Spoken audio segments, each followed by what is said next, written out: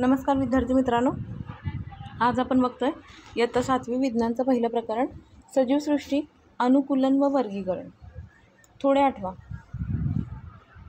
सजीवामधील विविधता कोणकोणत्या बाबीमुळे लक्षात येते? बरेचसे सजीव आपण आपल्या आजूबाजूला बघत असतो आणि त्यांच्यामध्ये विविधता आहे. हे कोणकोणत्या बाबींमुळे लक्षात येतं? हे आपण मागच्या इयत्तेमध्ये शिकलेलो आहे. तर तुम्ही हे थोडं आठवण्याचा प्रयत्न करा. पृथ्वीवर अनेक प्रकारच्या वनस्पती आहेत. काही वनस्पतींना विविध रंगी फुले आहेत. काही वनस्पती पाण्यात आढळतात तर काही पाण्याचे दुर्भिक्ष असलेल्या वाळवंटी प्रदेशात आढळतात. काही वनस्पती सूक्ष्मदर्शक यंत्राशिवाय दिसत नाहीत तर काही मात्र खरंच प्रचंड मोठ्या आकाराच्या आहेत. काही वनस्पती बर्फाळ प्रदेशात आढळतात. वनस्पतीसारखीच प्राण्यांमध्ये विविधता आहे. काही एकपेशीय काही बहुपेशीय काही अपृष्ठवंशीय तर काही पृष्ठवंशीय. तसेच जलचर भूचर उभयचर नभचर सरपटणारे अशा कितीतरी प्रकारच्या प्राण्यांनी आपले जग भरले आहे. हे पाहून आपल्याला प्रश्न पडतो की सजीवांमध्ये एवढी विविधता कशामुळे निर्माण झाली असावी? म्हणजे बघा या सगळ्या गोष्टींवरून आपल्या लक्षात येतं की सजीवांमध्ये विविधता आहे. काही फुलं असतात काही झाडांना वनस्पतींना रंगीबेरंगी फुलं असतात तर काही पाण्यामध्ये असतात काही वाळवंटात वाढतात. काही वनस्पती आपल्याला सूक्ष्मदर्शीशिवाय दिसत नाहीत तर काही खूप मोठ्या आकाराच्या असतात. आपण ह्या प्रत्येकांची उदाहरणं बघितलेली आहेत. कदाचित सूक्ष्मदर्शीखाली दिसणाऱ्या वनस्पती तुम्ही आजपर्यंत अभ्यासल्या नसतील पण अशाही काही वनस्पती आहेत ज्या सूक्ष्मदर्शीशिवाय दिसू शकत नाहीत. आणि असेच वेगळे वेगळे विविधता असेच वेगवेगळे प्रकार आपल्याला प्राण्यांमध्ये सुद्धा बघायला मिळतात. काही उभयचर असतात काही जलचर असतात काही फक्त पृथ्वीवरती राहणारे असतात काही झाडांवरती राहणारे काही आकाशात फिरणारे. तर ही सगळी विविधता सजीवांमध्ये जी आहे ती कशामुळे निर्माण झाली? त्याचा अभ्यास आपण या पाठात करणार आहे. सांगा पाहू. काश्मीर व राजस्थान प्रदेशात आढळणारे प्राणी व वनस्पती एकाच प्रकारचे आहेत का? आणि त्यामध्ये कोणता फरक तुम्ही सांगू शकाल? आता काश्मीर भारताच्या उत्तरेकडे असणारं एक राज्य आहे. आणि आपल्याला माहिती आहे ते हिमालयाच्या कुशीत आहे तिकडे फार मोठ्या प्रमाणात बर्फ पडतो. दुसरं आहे राजस्थान जे भारताच्या पश्चिमेकडे असणारं राज्य आहे. तर तिथे पाण्याचं दुर्भिक्ष आहे. तिथे वातावरण वातावरण जे आहे ते खूप उष्ण असतं. फार मोठा जो एरिया आहे तो वाळवंटी आहे. तर मग या दोन्ही विभागामध्ये किंवा या दोन्ही ठिकाणच्या प्राणी आणि वनस्पती ज्या आहेत त्या एकसारख्याच असणार आहेत का? आपल्याला माहीत आहे. राजस्थानसारख्या ठिकाणी जिकडे वाळवंट आहे तिकडे उंटासारखे प्राणी आढळतात. किंवा काश्मीर जिथे बर्फाळ प्रदेश आहे तिकडे याक किंवा खूप जास्त केस असणारे प्राणी आढळतात. तर मग हा जो फरक आहे दोन ठिकाणच्या प्राण्यांमध्ये वनस्पतीमध्ये तो तुम्ही सांगू शकता का? तुम्ही कधी ऑब्झर्व केलेला आहे का? तुम्हाला माहीत आहे का की ह्या दोन्हीमध्ये कोणकोणता फरक आहे? किंवा वेगवेगळ्या ठिकाणच्या प्राणी आणि वनस्पतीमध्ये कोणकोणता फरक असतो?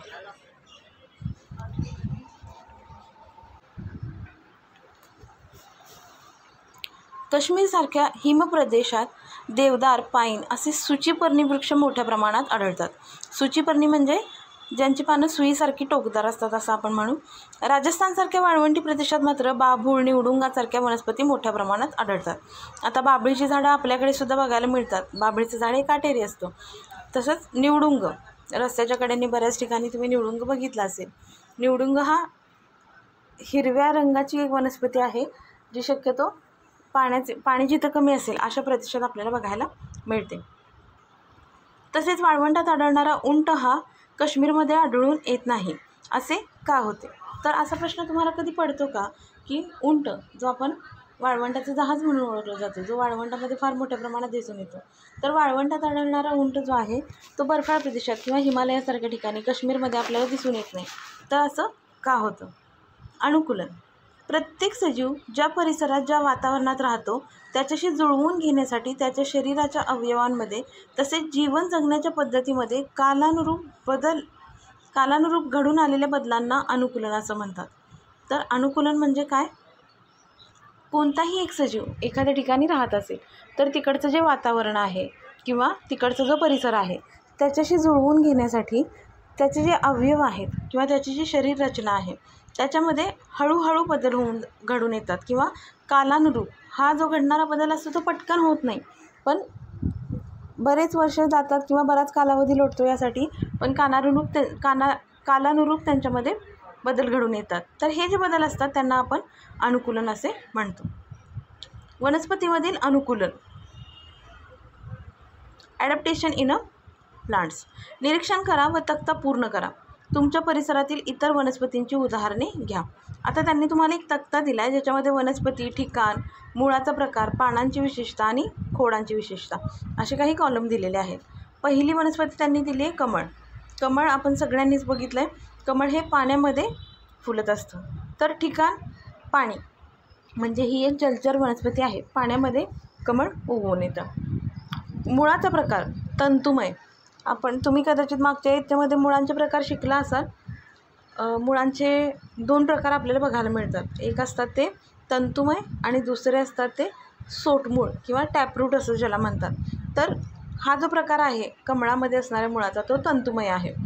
पानांची विशेषता गोलाकार पसरट मोठी आणि मेनचट थर. त्याची पानं जी असतात ती गोलाकार असतात पसरट मोठी असतात आकाराने आणि त्याच्यावरती मेणासारखा थर असतो. खोडांची विशेषता. जाडसर कंद. ह्याचं खोड कसं असतं? जाडसर कंदासारखं असं ह्याचं खोड असतं. निवडुंग. आता हे जे दिलेलं आहे निवडुंग आणि वड.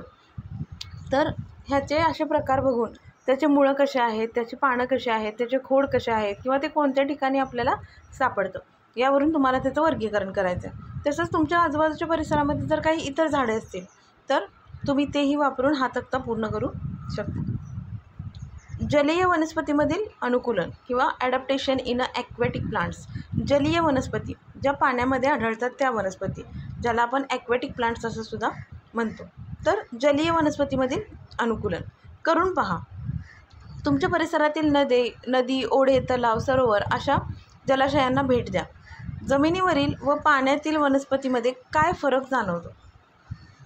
आता जमिनीवरती उगवणारं कोणतंही एखादं रोपटं जसं की गुलाब आणि पाण्यामध्ये असणारं कमळ जलीय वनस्पती आणि जमिनीवरील वनस्पती. तर ह्या दोन्हीमध्ये तुम्हाला कोणता फरक जाणवतो? ह्याचा अभ्यास तुम्ही स्वतः करायचा आहे. त्या दोन्हीमध्ये तुम्हाला काही फरक आढळून येतो का? दोन्हीची मुळं कशी आहेत दोन्हीचं खोड कसं आहे? दोन्हीच्या पानांचा आकार कसा आहे? आपण ह्याच्या पुढचा भाग पुढच्या पेजवरती बघूया.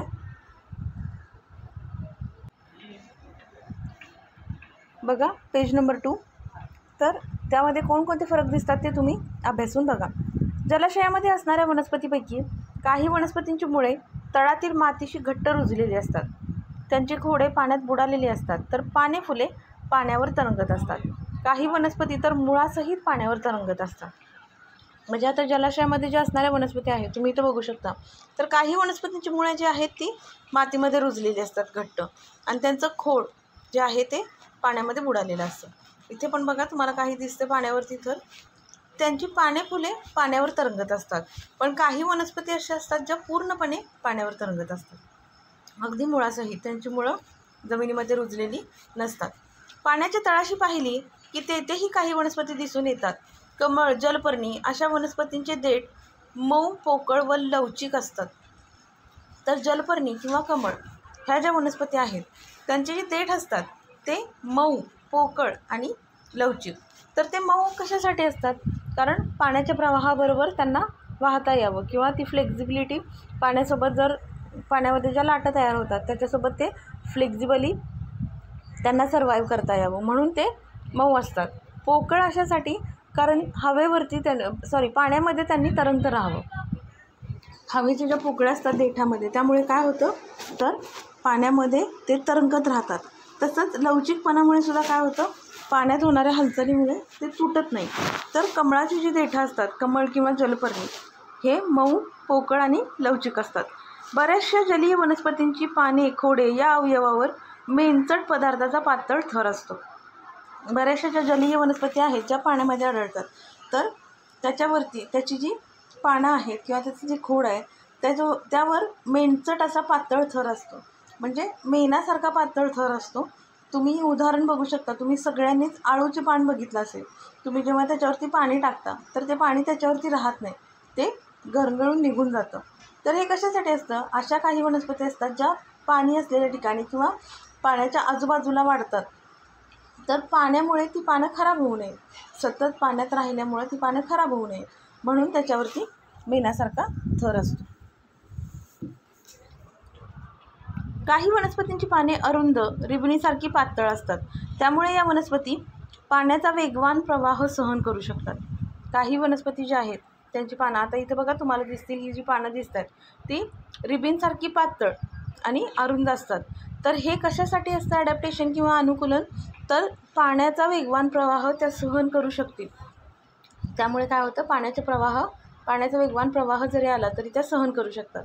खोड व पानांचे देठ यामध्ये असलेल्या हवेच्या पोकळ्या वनस्पतींना पाण्यावर तरंगण्यासाठी उपयोग उपयोगी पडतात. आणि खोड आणि देठ याच्यामध्ये ज्या हवेच्या पोकळ्या असतात त्यामुळे या ज्या वनस्पती आहेत त्या हवेवर सॉरी पाण्यावरती तरंगू शकतात. तुम्ही इथं बघू शकता हे कमळाचं पान आहे आणि हे त्याचे देठ आहेत. ह्याच्यामध्ये आपल्याला आतमध्ये पोकळाचा भाग दिसतो. तर ह्या हवेच्या पोकळ्या असतात ज्याच्यामुळे त्यांना पाण्यावरती तरंगण्यास मदत होते. डोके चालवा. आळू कमळाच्या पानांच्या पृष्ठभागावरून पाणी का उघडून जाते? आत्ताच मी तुम्हाला वरती सांगितलं आळूची पानं तुम्ही बघितली असतील जे आपण खाण्यासाठी वापरतो खाद्यपदार्थ म्हणून. तर आळू किंवा कमळाच्या पानाच्या पृष्ठभागावरून पाणी का उघडून जाते? या वनस्पतींची पाने पाण्यामुळे सडून का जात नाहीत? मी आत्ताच तुम्हाला सांगितलं की त्याच्यावरती मेनासारखा एक थर असतो ज्याच्यामुळे ह्याची पानं पाण्यामुळे सडून जात नाहीत. या वनस्पतींची मुळे आकाराने लहान व तंतुमय का असतात? आता या प्रश्नाचं उत्तर मात्र तुम्ही शोधण्याचा प्रयत्न करा. हे ॲक्च्युली जरा डोके चालवा हे मुलांच्यासाठी आहे शिक्षकांच्यासाठी नाही तर मुलांनी त्यांचं डोकं चालवायचं आहे आणि या गोष्टीचा विचार करायचा आहे. की वनस्पतींची मुळे आकाराने लहान आणि तंतुमय का असतात? तर हे जे आहे ते पूर्ण जलीय वनस्पतींमध्ये असणारं ॲडॅप्टेशन आहे. ज्या वनस्पती पाण्यामध्ये असतात तर पाण्यामुळे त्यांची पानं खराब होऊ नये किंवा त्यांचे खोड जे सतत पाण्यात आहे ते खराब होऊ नये म्हणून त्यांच्यावरती मेण्यासारखा थर असतो. ती पानं हवे पाण्याच्या वरती तरंगत राहावी. म्हणून मग त्यांच्या देठामध्ये किंवा त्यांच्या खोडामध्ये हवेच्या पोकळ्या असतात. तर ही जी आहे ती जलीय वनस्पतीमध्ये असणारे अनुकूलन किंवा ॲडॅप्टेशन आहे. आता पुढे बघा वाळवंटी प्रदेशातील वनस्पतीमधील अनुकूलन. Adaptation in a desert plan plants तर डेझर्टमध्ये असणाऱ्या किंवा वाळवंटात असणाऱ्या ज्या वनस्पती असतात त्यांना वाळवंटात टिकून राहण्यासाठी त्याच्यामध्ये कोणते ॲडॅप्टेशन आपल्याला दिसून येतात? करून पहा. एक निवडुंगाची व एक भरपूर पाणी असणारी वनस्पती. अशा दोन कुंड्या घ्या. दोन्ही कुंड्यामधील वनस्पतींच्या पानाभोवती प्लास्टिकच्या पिशव्यात सैलसर बांधून कुंड्या सकाळपासून उन्हात ठेवा. दुपारी त्या कुंड्या वर्गात आणून निरीक्षण करा. आता ही तुमची क्लास ॲक्टिव्हिटी आहे. तुम्हाला क्लासमध्ये करायची आहे. पण जरी शक्य नसेल क्लासमध्ये तरी तुम्ही ही ॲक्टिव्हिटी घरी करू शकता. त्यासाठी काय करायचं आहे तर निवडुंग. आणि भरपूर पाणी असणारी कोणतीही वनस्पती. निवडुंगाचं आणि भरपूर पाणी असणाऱ्या कोणत्याही वनस्पतीच्या अशा दोन कुंड्या घ्यायच्या तुम्हाला. आणि दोन्ही कुंड्यामधील वनस्पतींच्या पानाभोवती प्लास्टिकच्या पिशव्या सेलसर बांधून ठेवायच्या आणि पिशव्या बांधून ह्या ज्या कुंड्या आहेत त्या सकाळपासून उन्हामध्ये ठेवायच्या आता आपल्याला माहिती आहे की पानांमधून बाष्पीभवन होत असतं. तुम्ही याआधी शिकला असाल तर तुम्हाला काय दिसेल या दोन्ही पानांमध्ये किंवा दोन्ही पानांच्या वरती बांधलेली जी प्लास्टिकची पिशवी आहे त्याच्यामध्ये तुम्हाला काय फरक दिसेल? तर घरी नक्की ही ॲक्टिव्हिटी करून बघा.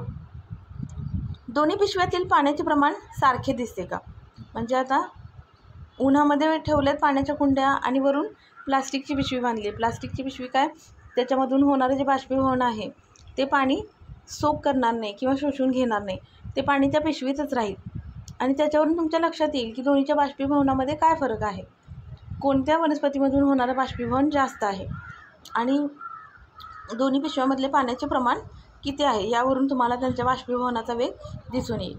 वाळवंटी वनस्पतींना पाने नसतात किंवा ती खूप बारीक सुईसारखी असतात. आता हे बघ बघू शकता तुम्ही ही जी छोटी छोटी दिसत आहेत एकदम सुईसारखी बारीक ही या झाडाची पानं आहेत.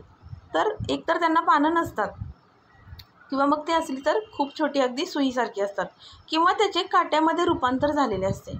आता वरती वाळवंटी प्रदेशातील वनस्पतीमध्ये आपण बाबळीचं उदाहरण बघितलं आहे बाबळीच्या झाडाला सुद्धा काटे असतात. तर हे वाळवंटी प्रदेशात असणाऱ्या वनस्पतीमध्ये असणारं अनुकूलन आहे. एक तर त्यांची पानं खूप छोटी असतात किंवा असली तर ती काट्यामध्ये रूपांतरित झालेली असतात. या रचनेमुळे त्यांच्या शरीरातील अगदी कमी पाणी पा वाफेच्या स्वरूपात बाहेर टाकले जाते.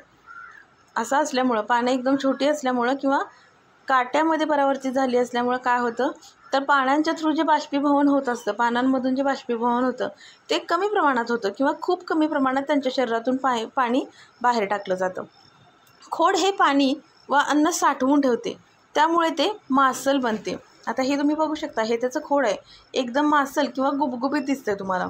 तर हे कशामुळं होतं? कारण या झाडांमध्ये पानं छोटी असल्यामुळं किंवा पानं नसल्यामुळं जे काही पाण्याचं प्रमाण आहे ते खोडामध्ये साठवून ठेवलेलं असतं. पाणी आणि अन्न दोन्ही आहे ते खोडामध्ये साठवून ठेवलेलं असतं. पाण्याच्या अभावामुळे खोडांना प्रकाश संश्लेषण करावे लागते म्हणून ती हिरवी असतात. आपल्याला माहिती आहे की झाडांमध्ये जी प्रकाश संश्लेषणाची क्रिया होते ती पानांमध्ये घडून येते. आणि आता वाळवंटी प्रदेशातील झाडांना पानं एकदम छोटी आहेत किंवा ती नाहीतच. आणि त्यामुळं मग प्रकाश संश्लेषण ही जी क्रिया आहे अन्न बनवण्याची जी क्रिया आहे ती त्या वनस्पतीच्या खोडामध्ये घडून येते. आणि त्यामुळं या वाळवंटी प्रदेशातील ज्या वनस्पती असतात त्यांच्या खोडाचा रंग आहे तो हिरवा असतो.